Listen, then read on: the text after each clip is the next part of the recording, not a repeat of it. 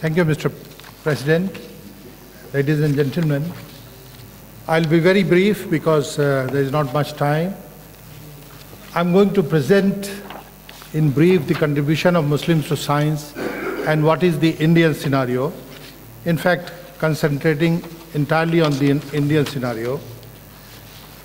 Since my election to the various fellowships of the India, Indian science, whenever I attended the meeting of these academies, I felt very lonely in the sense that there were hardly one or two Muslims. Then I started looking into the yearbook which is published by each one of them, and it was very revealing. I will give you those details later. And as you all know that prior to the arrival of great Mughals in India, Muslims were already there in sufficiently large number.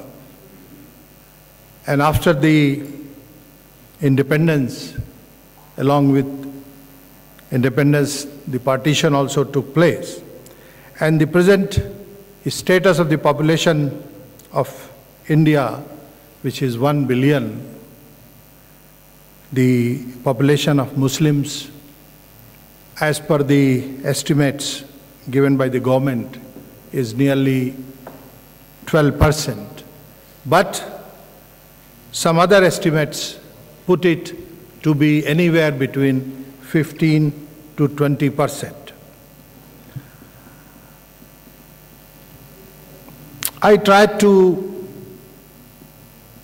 work out from the yearbooks of the various academies, and as some of you may already be aware, that in India, since the 1930s, we have three science academies, and the oldest of these, although all were established with a gap of one or two years, the first one, the Allahabad Academy, uh, which is called as the National Academy of Sciences India, was established in the year 1930.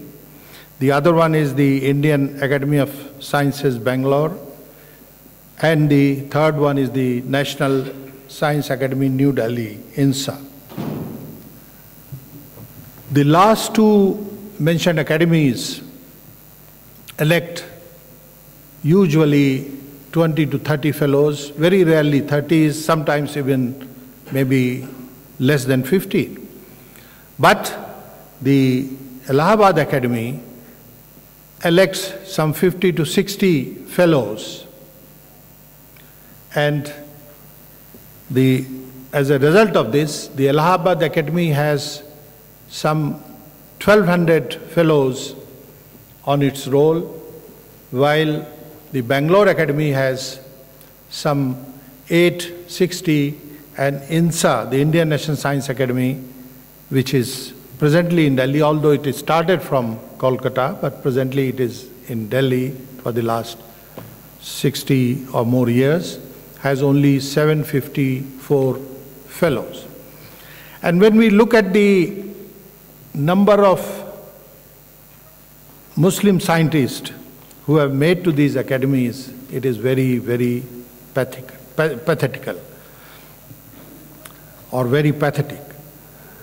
The, in the election of uh, these uh, of the fellows in these three academies, the impact factor of the journal and the citation index are all variably used as the important criteria as in any other international academy. The selection process in these academies, I am trying to emphasize this point, is very fair and is free from all kinds of biases. To the best of my knowledge and belief, as I was myself part of this selection process for a number of years. In addition to these, the Third World Academy of Sciences, now the World Academy of Sciences, which is located in Italy, and the Royal Society of London. I also looked into these two societies for Muslim fellowships. And the result of all this search has been very disappointing. Out of total 1200 fellowship in the Allahabad Academy, there are only 30 Muslims. While in the Bangalore Academy, where we have 860 fellows, there are only 14 Muslims. And in the uh, uh, Delhi Academy, there are 15 Muslims, which makes a total of 59 Muslims or 59 fellowships actually, and out of 2,814 total fellowships of all the three academies put together.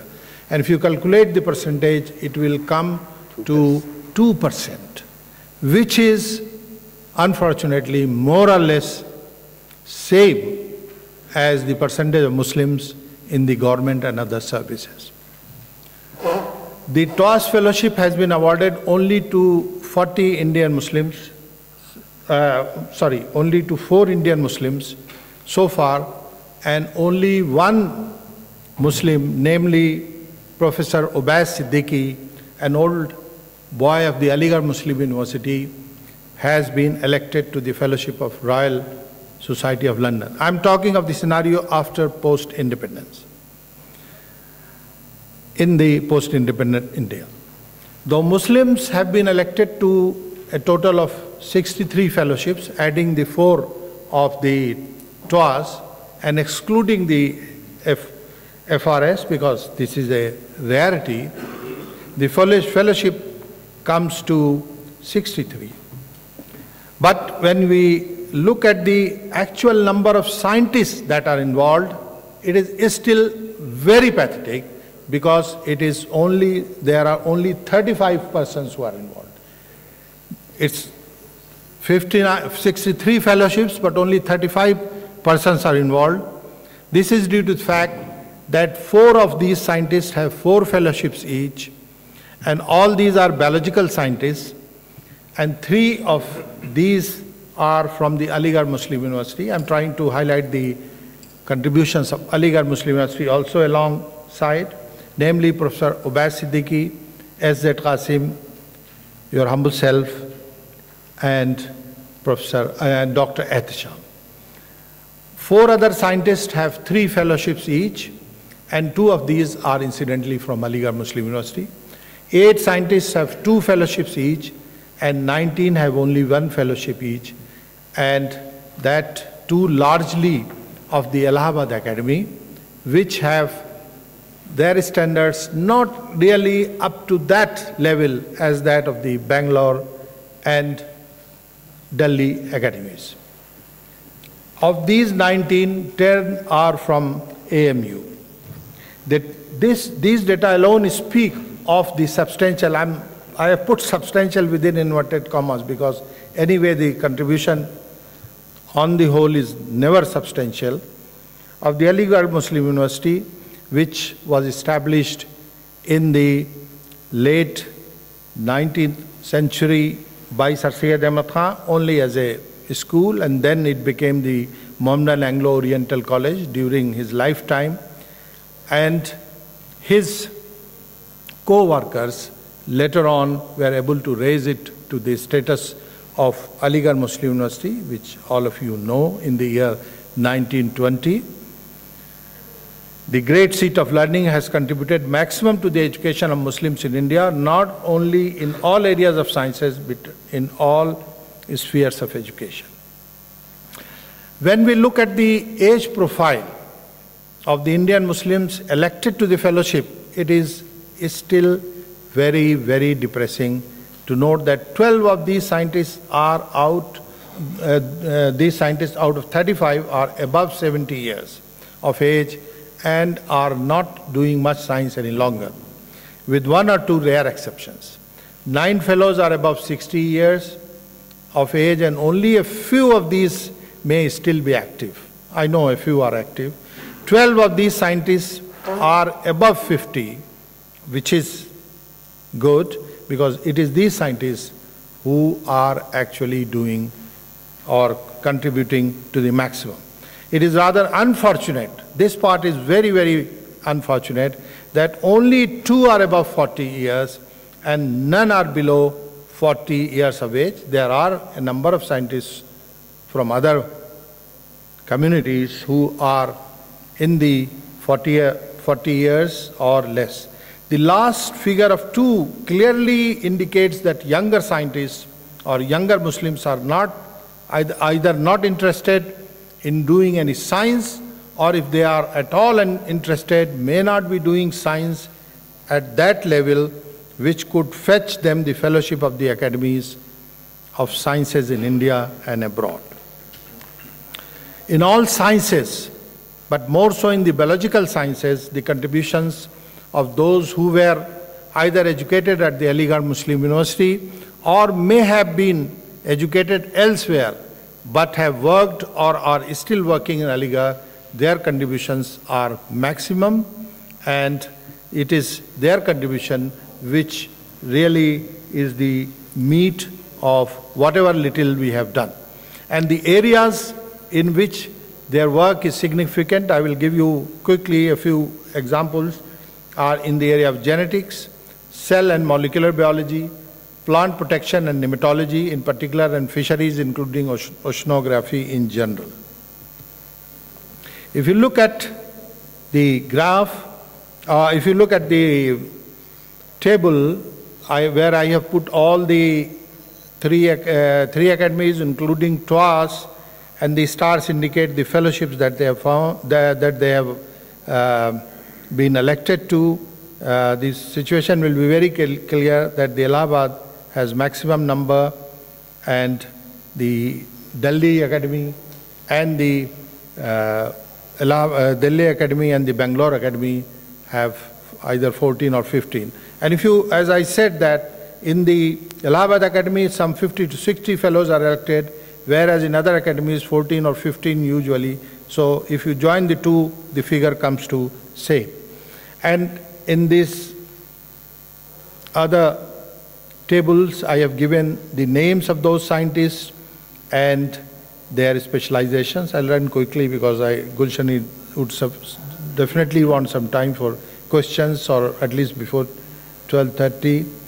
These are the various areas. This is the Delhi Academy where we have 15 fellows. This is the Bangalore Academy where we have 14 fellows.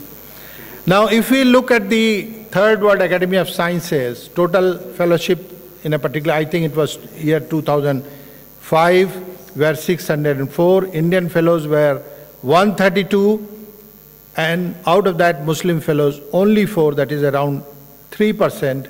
Total Muslim fellows from Pakistan, at that point I think there were 31. And in another country, Indonesia, which has slightly more population of Muslims than India, there was only one fellow. And all the four fellows of TWAS are in the area of biology. Agriculture also is an area of biology. And incidentally, the two senior persons, Obaid Siddiqi and uh, Zahoor Qasim happened to be my teachers. Ehtesham is a comparatively young person. He had no connection from Aligarh, but all the other uh, three persons are from Aligarh. And if you look at the Aligarh contribution, you can see that people who have worked and studied in Aligarh is very, there are two people who consistently re, uh, worked and remained in Aligarh then we have people who studied in Aligarh but worked elsewhere. Then we have other.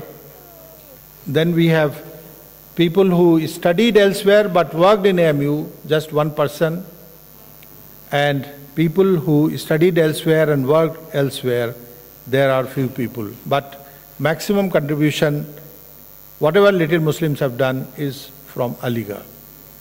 Areas of research also in these, you will see that genetics, molecular biology, animal and human and plant breeding, and also viruses, they all are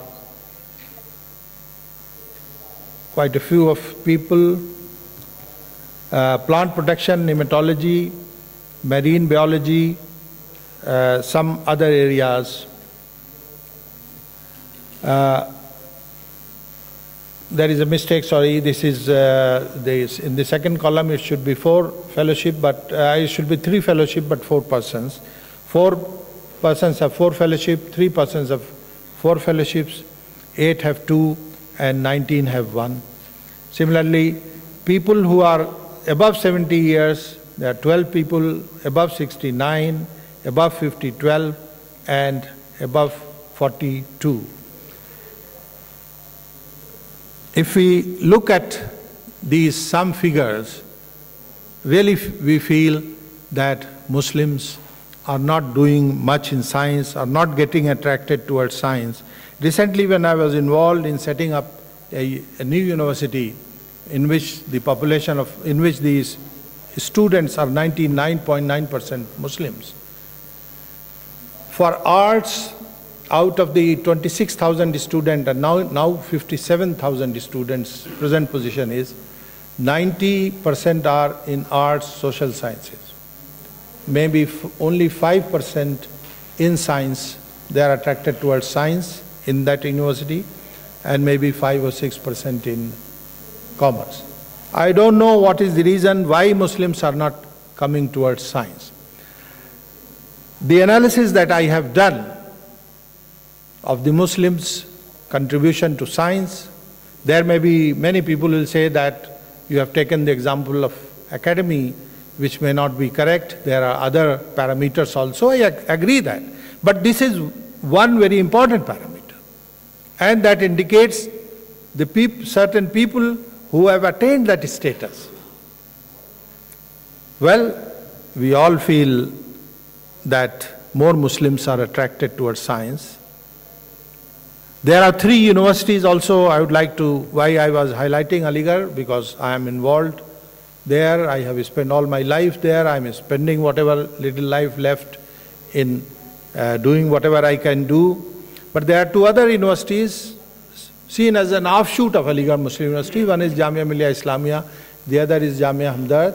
And there is one fellow of the Allahabad Academy in Jamia Millia Islamia and two fellows of the uh, Allahabad Academy of Sciences uh, in uh, Jamia Hamdard. So not much significant. And, and they were all, these three persons were actually educated in Aligarh. So if you look at, uh, at that, there is not so, or there is uh, zero contribution from these two universities. Whatever contribution we have, it is maximum from Aligarh Muslim University.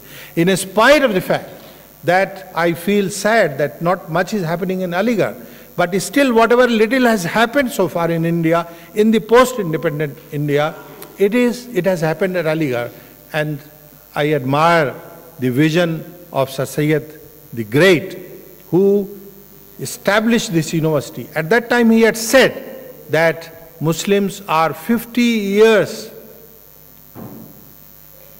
you know, away, or their, their education level is 50 years less than that of their com other compatriots. I think that situation maybe more than 100 years uh, later is even worse than what it was in the days of Sir So thank you very much. I'm sorry the time was, uh, if I had more time, I would have explained it in a much better way, but I had done it very quickly. Thank you so much.